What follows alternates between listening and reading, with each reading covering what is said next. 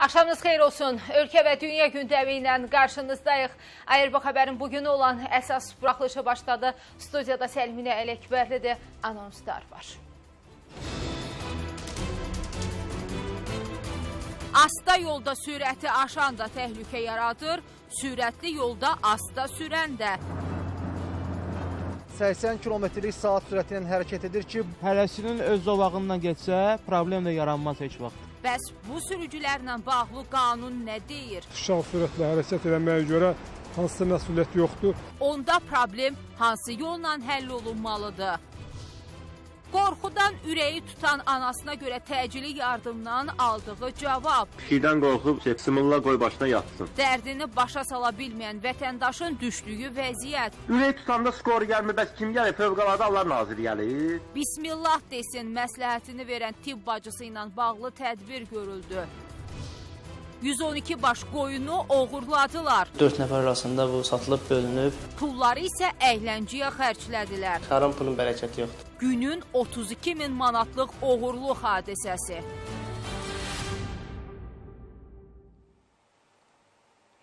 Diqqətiniz bizdə olsun, təfərrüatı ilə olacaq. İki ayda komada olan hərbçimiz dünyasını dəyişib. Şuşada hərbi maşının aşması nəticəsində yaralanan müddətdən artıq xidmət edən hərbi qulluqçu Ülvi İbrahimov müalicə aldığı xəstəxanada dünyasını dəyişib. O, doğulduğu saatlı rayonunun Qaranuru kənd qəbristanlığında torpağa tapşırılıb. Allah rəhmət eləsin. Ermənistan Silahlı Qüvvələri və siyasi hərbi rəhbərliyinin törətdiyi cinayət faktları üzrə 70-dən çox cinayət işi başlanılıb. Baş prokurorluğun məlumatına görə hazırda da həmin cinayət işləri üzrə intensiv istintaq əməliyyat tədbirləri aparılaraq xarici dövlətlərlə hüquqi yardım sahəsində əməkdaşlıq davam etdirilir.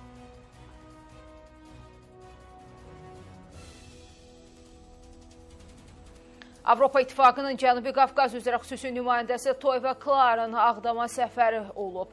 İşğal zamanı ermənilərin törətdiyi vəhşilikləri, dağıntıları gözləri ilə görən Klar müharibənin acı xatirələrinin hər zaman qalacağını deyib. Xüsusi nümayəndə oxşar təcrübəni Avropanın 2-ci Dünya müharibəsində yaşadığını vurğulayıb.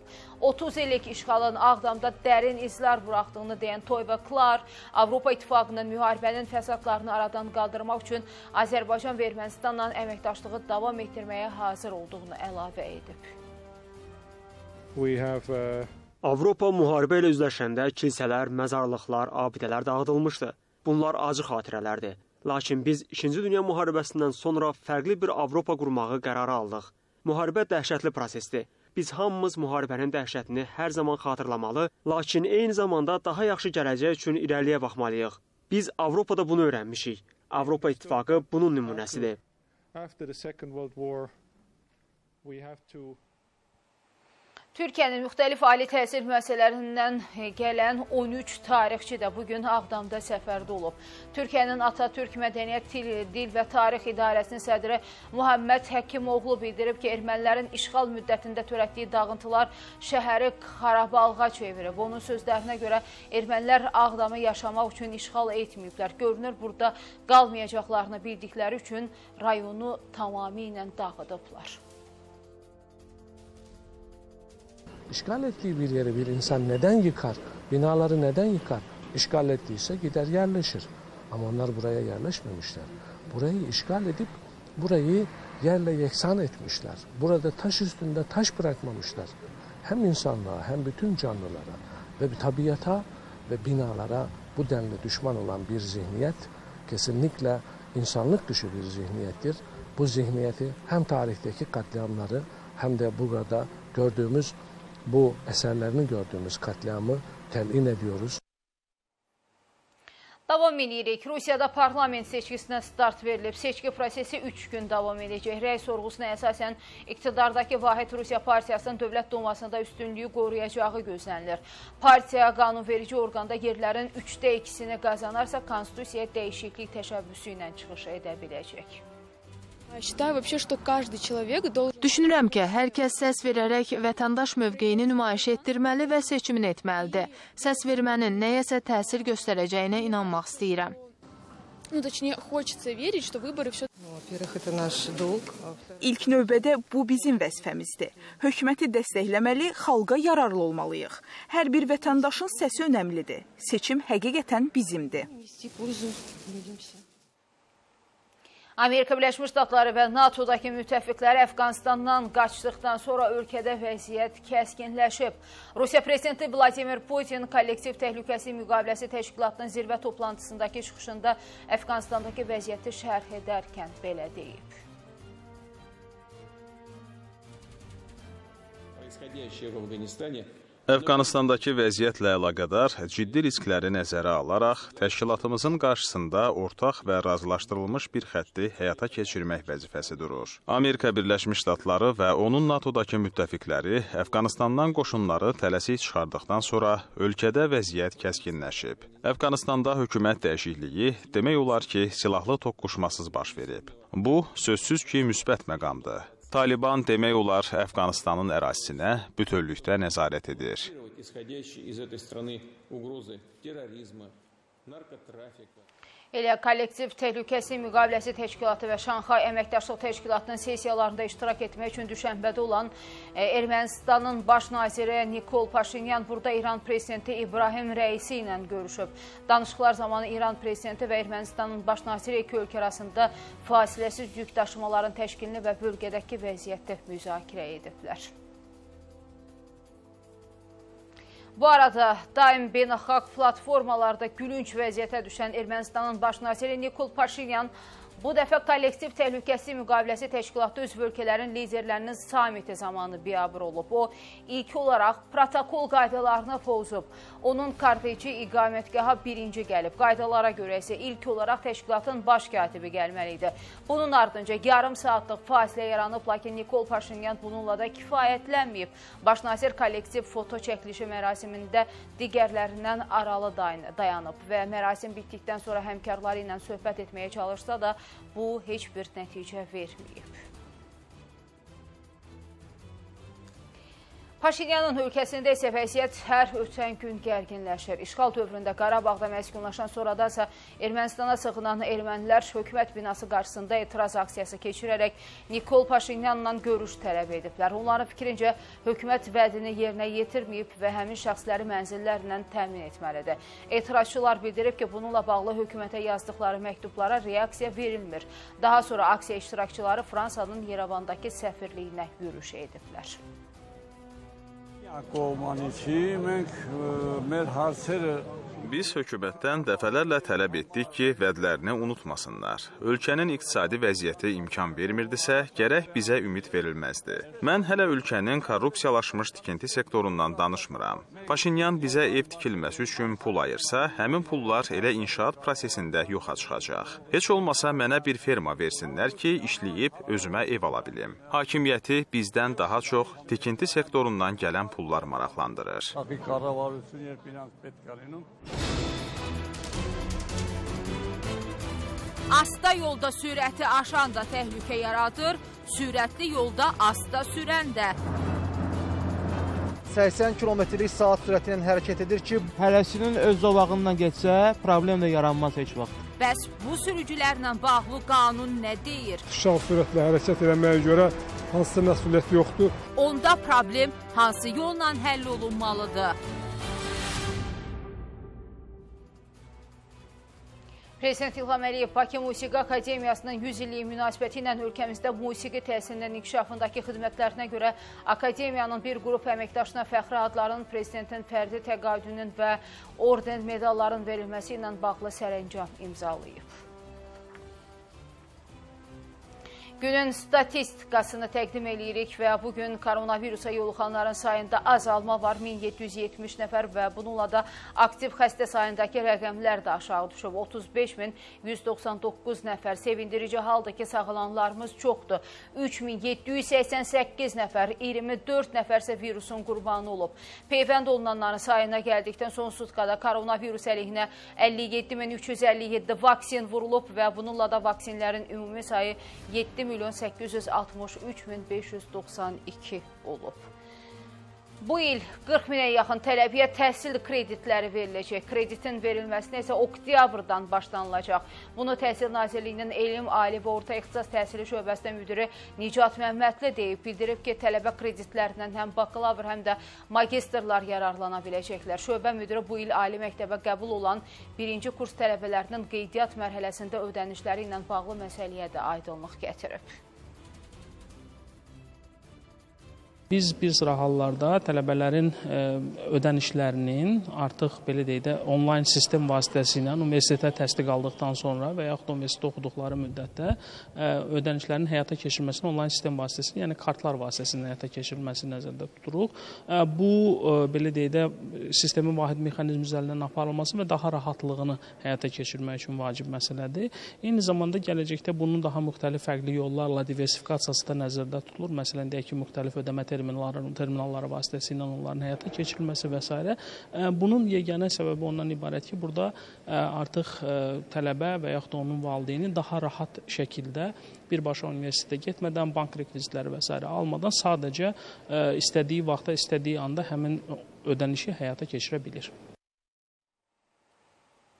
Həftə sonları sərnişin daşıma fəaliyyəti ilə məşğul olan şəxslərə növbəti dəfə xəbərdarlıq edilib. Baş Dövlət Yol Polisi İdarəsindən bildirilib ki, Nazirlər Kabinetinin qərarı ilə ölkədə həftə sonları ictimai nəqliyyatda sərnişin daşıma fəaliyyəti dayandırılıb. Lakin Bu vəziyyətdə fürsət bilən bəzi sürücülər həftə sonları əsasən mikroavtobus tipli nəqliyyat vasitəlikləri ilə sərnişin daşınması qaydalarını pozaraq qeyri-qanuni fəaliyyət göstərirlər və bununla da infeksiyanın yayılmasına şərait yaradırlar. İdarədən deyilib ki, bu cür sürücülərə qarşı ciddi tədbirlər görüləcək. Qanunsuz sərnişin daşımada iştirak edən sərnişinlər belə nəqliyyat vasitələrinin hərəkətinə məhdudiyyət qoyulacağını nəzərə alsınlar və yollarda çətinliklərlə üzləşməmək üçün vacib işlərini həftə sonlarına saxlamasınlar. Bir daha aidiyyət şəxslərin nəzərinə çatdırırıq ki, sərnişin daşımada, eləcə də taksilərdə tələb olunan qaydaların pozulmasına görə ciddi inzibati tənbih tədbirləri həyata keçiriləcəkdir.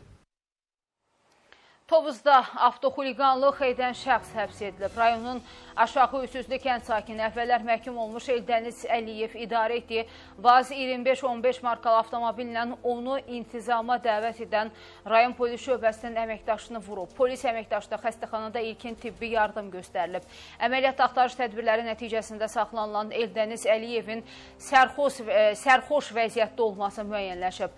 Rayon məhkəməsinin qərarı ilə Əliyev bir ay müddətində inzibati şəxsi qaydada həbs edilməklə elə bir il müddətində sürücülük hüququndan məhrum olub. Belə, adam günün günorta çağı sürət həddini aşıb təhlükəli vəziyyət yaradıb. Çox şükür ortada faciəli hadisə yaşanmayıb. Yollardan sürət həddini aşanlardan danışacağıq yenə də. Təsəvvür edin, magistralda maksimal sürət 110, minimum isə 70 km saat sürətidir. Amma digər ki, həmin yolda hərəkət edənlərin əksəriyyəti 110 km saat sürəti ilə hərəkət edə bilmirlər. Nəticədə əksər hallarda qəzalar baş verir. Bunun da səbəbi var, araşdırmışıq. Deməli biz hazırda 110 kilometrlik saat sürəti üçün nəzərdə tutulan zolaqla hərəkətimizi davam etdiririk. Qarşımızdakı sola dönmə işığını yandıran bu nəqliyyat vasitəsinin indi sürətinə baxacağıq. ...80 kilometrlik saat sürəti ilə hərəkət edir ki, bu sürət üçün bizdən sağda iki zolaq təyin olunub.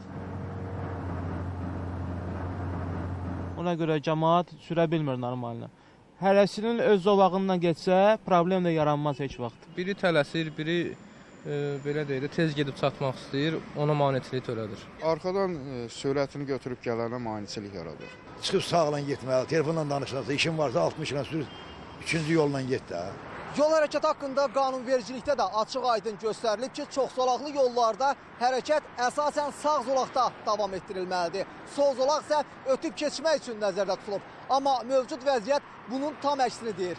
Sağ zolaqda hərəkət eləməli olan nəqliyyat vasitələri soldan ötüb keçənlərə çətinlik yaradır ki, bu da sonda yol nəqliyyat hadisəsi ilə nəticələnir. Axından aşağı sürətlə gedirlər məcbur edirlər ki, digər sürücülər tez-tez manevrlər eləsinlər, onları sağdan ötsünlər. Bu, bu da təbii ki, e, əlavə manevrlər yolda gərginlik, e, sıxlıq və konkret olaraq yol nəqliyyat hadisələrini gətirib çıxara bilər. Təcrübədə də bu olur. Əgər o sürəti az sürətlə gedirsə, məncə o qaydanı pozur. Cərimə olsa yaxşı olar.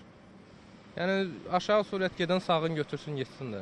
Amma yol hərəkəti haqqında qanunda həmin şəxslərə görə heç bir cəza nəzərdə tutulmayıb. Hazırda qüvvədə olan qanunvericilik sürət limitinin yuxarı həddinin aşılmasına görə məsuliyyət nəzərdə tutub. Tutaq ki, yolda müəyyən olunandan aşağı sürətlə hərəkət etməyə görə hansısa məsuliyyət yoxdur. Hətta bu qayda pozuntusu deyil. Amma cərimə nəyə görə nəzərdə tutulub? Bax, sağ zolağı boş qoyub sol zolaqla hərəkət edir. Burada nəqliyyat vasitəsinin yolun hərəkət hissəsinə yerləşdirilmə qaydasını pozmaya görə cərimə yazıla bilər. Bir sözlə, mövcud problem yalnız sürücü mədəniyyəti hesabına həll oluna bilər. Amma təcrübə göstərir ki, əgər belə məsələlərdə qanunvericilik müdaxilə etmirsə, problem də həllini tapmır. Gündüz Vaqifoğlu, Bəxtiyar Nəsirli, ARB xəbər.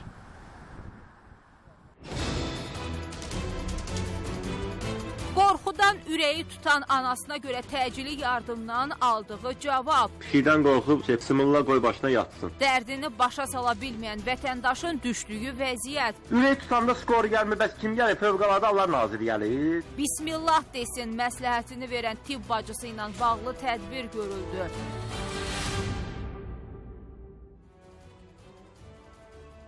Azərbaycan tərəfi Ermənistanı beynəlxalq məhkəməyə verəcək. Artıq Azərbaycanlılara qarşı insan hüquqlarının kobud şəkildə pozulmasına dair faktlar toplanıb və sənədləşdirilib. Hər kəsə məlumdur ki, Ermənistan vurduğu ziyanı pul olaraq geri qaytarmaq gücündə deyil. Belə olan halda təzminatın ödənilməsi necə həyata keçirilə bilər? Ümumiyyətlə Ermənistanı nə gözləyir? Ermənistan növbəti dəfə beynəlxalq hüquqi məsuliyyətə cəlb olunacaq. Burada düşmən ölkənin insanlıq əleyhinə cinayətləri, əmlaka ziyan vurulması, qeyri-insani işgəncə faktları əsas götürülüb. Ekspertlər bildirirlər ki, qarşı tərəfdən təzminat tələb olunması beynəlxalq hüququn norma və prinsiplərinə uyğundur. Ermənistan vurduğu ziyanı müxtəlif formalarda ödəyə bilər. Bu, tərəflərin qarşılıqlı razılığı əsasında həyata keçirilməlidir. Təbii ki, buna da Ermənistan razı olmayacaq. Çünki ölkənin hazırki vəziyyəti deyilənlərə imkan vermir. Belə olan halda məhkəmənin qərarı ilə bu ölkənin bir sıra hüququ əlindən alına bilər. Məhkəmənin qərarı əsasında e, təcavüz etmiş dövlət, təcavüzə məruz qalmış dövlətin vurduğu o belə deyək də zərəri ödəmək iqtidarına malik deyilsə, yəni o repressiyanı ödəmək iqtidarına malik deyilsə, belə olan halda Ermənistanın da o təbii resursları üzərində, əmlakı üzərində, deyək ki, xaricdə yerləşən əmlakı üzərində stop qoya bilər ki, həmin dəymiş zərər Azərbaycana ödənilmiş olsun. İşğala məruz qalan dövlətin iqtisadiyyatına, təbii resurslarına qəsd edilməsi ilə bağlı dəyən ziyanın ödənilməsi praktikası dünyada mövcuddur. Məhkəmə prosesləri isə kifayət qədər sübutların toplanmasını tələb edir. Elə buna görə də xüsusi komissiyalar işğaldan azad olunan ərazilərə dəyən maddi zərərin ödənilməsi ilə bağlı sübutlar əldə ediblər. Prosesdə beynəlxalq qurumlar da iştirak edir. Ərazilərimiz işğaldan azad olunduqdan sonra bu ərazilərdən çox saylı dəlillər ə, toplanmışdır. Söhbət ə, burada həm ə, maddi, tarixi, ə, mədəni irsə vurulan ziyandan gedir, şəhərlərimizin dağıdılmasından gedir. Ə, eyni zamanda insanlara qarşı törədilmiş çox saylı müharibə cinayətləri faktlarından gedir ki, bu məlumatlar toplanmışdır. Məqsədimiz Ermənistanın törətdiyi bütün bu hüquq pozuntularına görə ədalət qarşısında cavab verilməsinin təmin olunmasıdır. Bunun üçün müvafiq addımlar tərəfindən tərəfimizdən davamlı şəkildə atılacaqdır. Əgər deyək ki, məhkəmə qərarı çıxarılıb Ermənistana münasibətdə onun əleyhinə o həmin qərarı icra etmək istəmir, belə olan halda Azərbaycan Respublikası e, deməli BMT nizamnaməsinin 94-cü maddəsinin 2-ci bəndini nəzərə almaq şərti ilə e, o qərarın icrası ilə bağlı Ermənistanın üstünə öhdəlik əlavə öhdəlik qoymaq məqsədi ilə BMT Təhlükəsizlik Şurasına müraciət eləyə bilər. Yəni bu birmənalı olaraq nizamnamədə nəzərdə tutulan mühüm məqamlardan biridir. Görünən odur ki, bundan sonra da erməni vəhşiliyi hələ çox məhkəmələr qarşısına çıxarılacaq. Gec ya tez işğalçılar törətdikləri əməllərinə görə cavab verəcək. Hicran Nəsibova, Qadir Əliyev, Nurlan Vilayətoğlu, ARB xəbər. Gorus-Qafan yolunun Azərbaycan ərazisinə keçən hissəsində nəzarətin gücləndirilməsi Ermənistanı təşvişə salıb. Artıq bu ölkənin iqtisadiyyatı necə deyərlər ovcumuzun içindədir. Həmçinin Ermənistana göndərilən silah, sursat və strateji məhsulların göndərilməsinin qarşısı alınır və ya buna da nəzarət olunur. Vəziyyətdən çıxış yolu axtaran rəsmi Yerevan Gorus-Qafan yoluna alternativ magistral yol çəkməyi düşünür. Amma bu heç də asan olmayacaq. Bu arada Rusiya Xarici İşlər Nazirliyi də məsələyə toxunub, qurumun rəsmisi delimitasiya və demarkasiya prosesindən danışıb. Ermənistanın yeganə və ən böyük təchizat kanalı olan Gorus-Qafan yolu, hansı ki, Azərbaycan ərazisindən keçir. Buradan yüzlərlə yanacaq və digər strateji məhsullar daşıyan tır Ermənistan və Qarabağda Rusiya sülh məramlılarının nəzarətindəki əraziyə daxil olurdu. Bu tırların hərəkətinə məhdudiyyətlər qoyulub və nəzarət tədbirləri gücləndirilib. Azərbaycan və Türkiyə ilə əlaqələrin bərpa olunmaması, soyuq Gürcüstan-Rusiya münasibətlərinin Ermənistanı ölkəmizin ərazisindən keçən bu yoldan tam asılı vəziyyətə salıb. Əhalisini qida məhsulları, yanacaq və elektriklə təmin edə bilməyən, yanacaq ehtiyatları tükənən Ermənistanın iqtisadiyyatı indi demək olar ki, Azərbaycanın əlindədir. Ermənistan bütün ümidi xaricdən diasporanın onlara eləyəcəyi yardımdır ki, o yardım da ilbəil azalmaqdadır.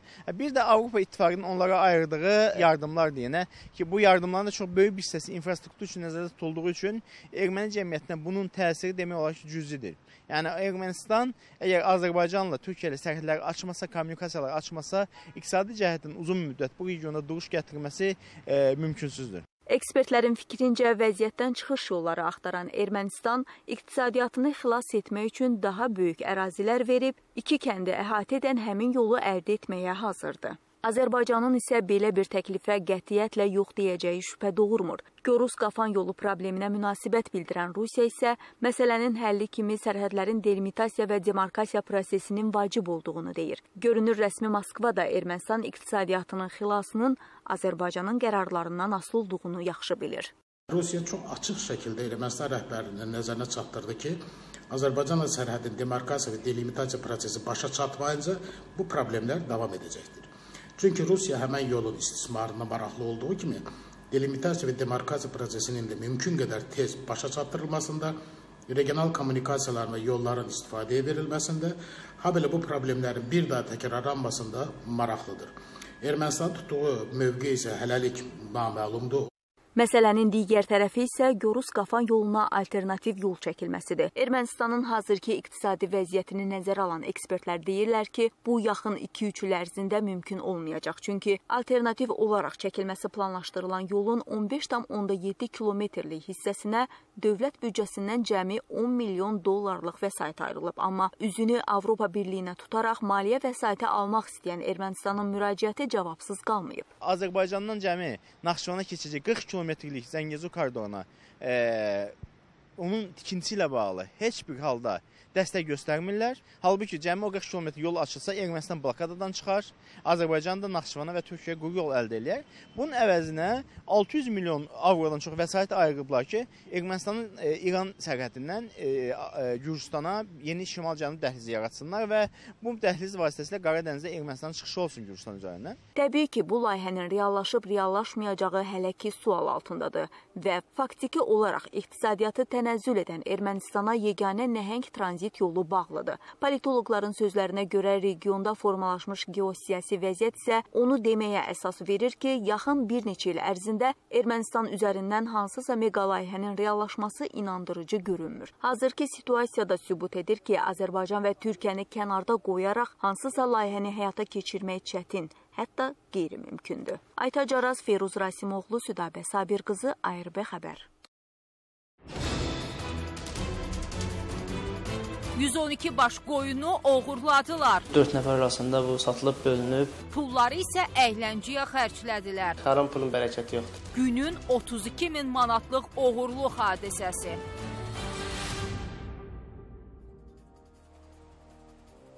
Təfərrüatları bir qədər sonra təqdim edəcəyik, hələlik davam edirik. Azərbaycan dövlətinin ən böyük diqqət və qayğısı məhz vətən müharibəsində yaralanan əlillik alan şəxslərə yönəlib. Bunu Əmək və Əhalinin Sosial Müdafiəsi Naziri Sahil Babayev deyib. Bildirib ki, şəhid ailələri və müharibə əlillərinin işlə və fərdi evlə təmin olunması bundan sonra da davam etdiriləcək. Yanvar-avqust ayları ərzində 950-lik olan şəxs həm kvota, həm də ictimai işlər proqramı üzrə işlə təmin edilib. 1045 nəfər özünü məşğulluq üzrə təlimlərə cəlb olunub. 2500 vətəndaş Dünya Bankı ilə birgə təlimlərdə iştirak edib. 625 az təminatlı ailə üçün bağçılıq təsərrüfatları yaradılıb. İndi Əmək və Əhalinin Sosial Müdafiəsi Nazirliyinin əsas hədəfi əmək müqaviləsi ilə işləyən insanlar arasında əlilliyi olan şəxslərin sayının artırılmasıdır. Bu gün əmək müqavilələri bazasında əlilliyi olan şəxslərin əmək müqavilələrinin sayı təqribən 70 mindir. Yəni ümumi əmək müqavilələrinin 4,1 faizi. Amma qanunvericilikdə biz minimal norma olaraq 5 faiz müəyyən etmişik. Deməli, hətta minimal normanın altındayıq. Düzdür, son 3 ildə kəskin artımımız olub. Başlanğıcda bu 2 faiz idi. 2 dəfədən artıq artıbdı. Amma hədəfimizə hələ də çatmamışıq. Eyni zamanda bu günə qədər müharibədə iştirak etmiş 30 mindən çox insana 37 mindən çox xidmət göstərilib. 183 amputasiyası olan şəxsdən 141 isə müasir elektron protezlərlə təmin olunub. Ötən il 100-dən artıq, 150-yə yaxın e, mənzil və fərdi ev şəhid ailələrimiz, müharibə ailələrimiz və digər həssas kateqoriyadan olan insanlara da şirkətlərimiz tərəfindən verilmişdi.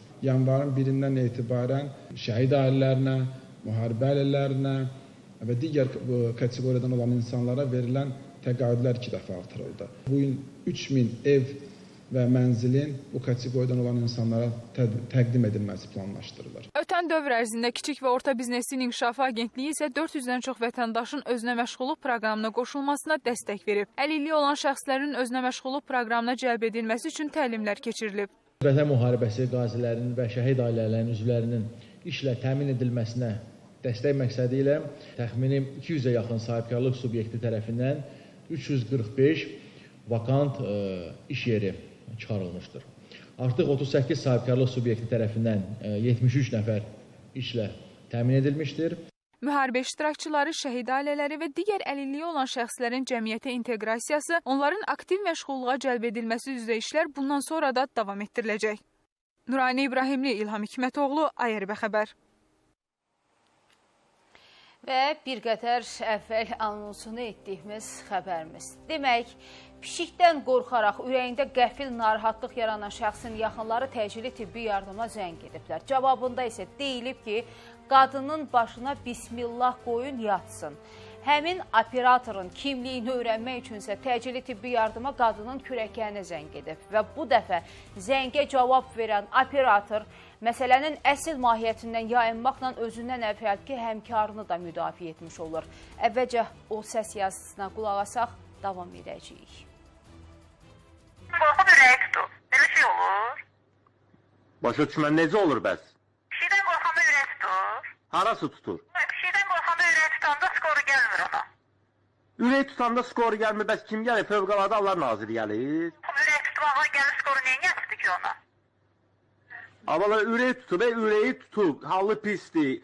Bilinmir, paraliz vırıb, infak vırıb, skoru pacarını çağırım mən. Sən ki, məntiqlə verin. Sən məntiqlə heç olmasa başa düşkünən ki, bu qorxub ürəyi tutub da. İndi qorxub ürəyi tutub, qorxubu qoyaq bir qırağı. Bu adamın deyirik ki, ürəyi tutub. Sən hələ... Verin, Bəli, hadisə Abşeron rayon ərazisində yaşanıb. Rayon mərkəzi xəstəxanasından təbibə bildirilib ki, vətəndaşla nəzakətsiz davranan xəstəxananın təcili tibbi yardım şöbəsinin tibb bacısı Raifə İbrahimova xəstəxana rəhbərliyi tərəfindən qəbul edilib və onun izahatı alınıb. Tibb müəssəsinin rəhbərliyi tərəfindən tibb bacısı barəsində intizam tənbihi tətbiq ediləcək. Şirvanda bədbəxt hadisə olub. Fəhlə başına kranın dəmir qarmağının dəyməsi nəticəsində həyatından olub. Salyan sakini 42 yaşlı Elman Qurbanovun işlədiyi müəssədə başına sex kranının dəmir qarmağı dəyib. Nəticədə fəhlə aldığı ağır kəllə beyin travmasından hadisə yerində ölüb. Faktla bağlı cinayət işi açılıb, araşdırma aparılır. Şamaxıda 32 min manatlıq xırda buynuzlu heyvan uğurlanıb. Laçın rayon sakini Elvin Mustafayev, Şamaxı rayon sakinləri Musa Şirinov, Adəm Abdullayev və Babək Bəyalıyev rayonun müxtəlif ərazilərində fermalardan 112 baş xırda buynuzlu heyvan uğurlayıblar. Araşdırma zamanı həmin şəxslərin uğurladıkları heyvanları Salyan və Ağdaş rayonlarındakı mal heyvan bazarlarında satdıqları məlum olunub. İfadələrində əldə etdikləri pulu öz aralarında böldüklərini və Bakıya gələrək əyləncələrinə xərclədiklərini bildiriblər. Faktla bağlı araşdırma davam etdirilir. 112 baş heyvan idi. 112 baş heyvan 4 nəfər arasında bu satılıb, bölünüb. Adama da bir 3-4 min pul olub. Yəni 3 minə vermişik, 4 minə vermişik, 6 minə vermişik belə. Bu nəyinədir su altımız bu? Xərcləndi getdi. Xaram pulun bərəkəti yoxdur. Otduq, içdik, yedik, içdik, elədik. Sonra getdik, dedik yanına ağaraq, neyniyək? Biraz da pul da yox idi. Hə, getdik, yoğuruq elədik. Yəni biri biz mən özüm böyük heyvanqarı ilə məşğuluq, heyvanqaramız var. Yəni qardaşımın xəbəri olmub, yəni evdən bir nəfər yəni xəbər olmub. Gədəbəyə dolu düşüb. Rayonun Novosaratovka kəndində bugün axşam saat 4-də başlayan yağıntı 20 dəqiqə davam edib. ARB xəbərin bölgə müxbirinin məlumatına görə təbii fəlakət təsərrüfata ziyan vurub və hazırda zərərin miqdarı dəqiqləşdirilir.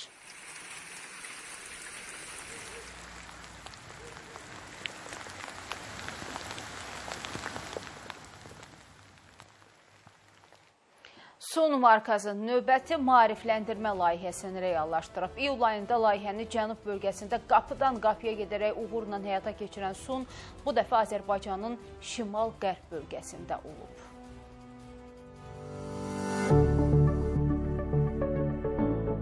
Sun marka heyəti Oğuz, Qəbələ, İsmayıllı, Şamaxı rayonlarının müxtəlif kənd və qəsəbələrində qonaq oldu və insanları tualet kağızı ilə bağlı məlumatlandırdı. Səfər çərçivəsində 2000-dən çox ev ziyarət olundu.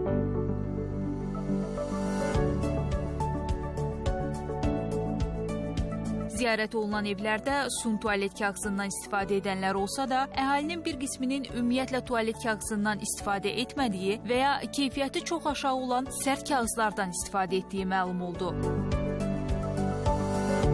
Həkim bu kağızların özlərinin mikrob daşıyıcısı olduğunu və qeyri-sanitar şəraitdə hazırlanması barədə sakinlərə məlumat verərək təhlükələrini izah etdi. Tualet kağızından istifadə etmədikdə yarana biləcək xəstəliklər barədə məlumatlanan sakinlər məsələyə daha həssas yanaşacaqlarını bildirdilər.